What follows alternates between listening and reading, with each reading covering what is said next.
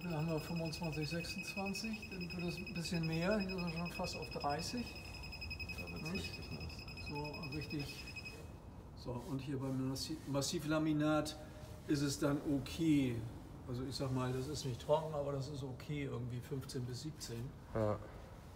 Und wenn wir jetzt hier weiter vorne das Ganze nochmal wiederholen, dann ist es okay. Dann fängt es hier an. Mit 25, 27, 28, 29. Okay.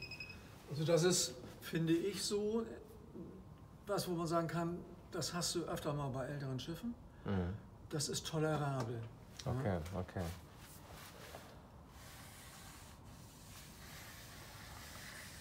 Wir nehmen ein paar Ausschnitte, Mhm. auch ein paar Ausschnitte, die wir vielleicht aus der gesamten Außenhaut rausnehmen, weil wir sagen, pff, repariert werden wir sowieso.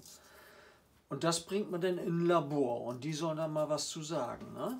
Also zum Beispiel zum Schaum und zur Verklebung.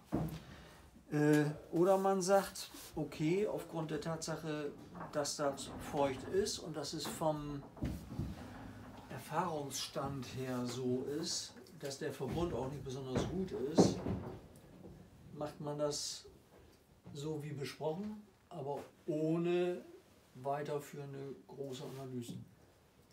Mhm. Also ich denke, wenn du das nochmal im Labor gibst, so ein paar Materialproben, ja, so viel kostet es auch nicht, aber man muss ein richtiges, das richtige Labor finden. Das ist das Problem. Ja, gut, ich meine, letztendlich äh, haben wir ja gesehen, was ist. Ne? Also ich meine, wie, wie, schätzt du das ein mit der Außenstabilität? Äh, also du hast du ja gerade nochmal geschabt da. Also außen ist es dann. Äh also es ist reduziert. Es ist ja immer noch eine Verbindung da, aber die ist eben nicht mehr mhm. auf 100 Prozent. Thank.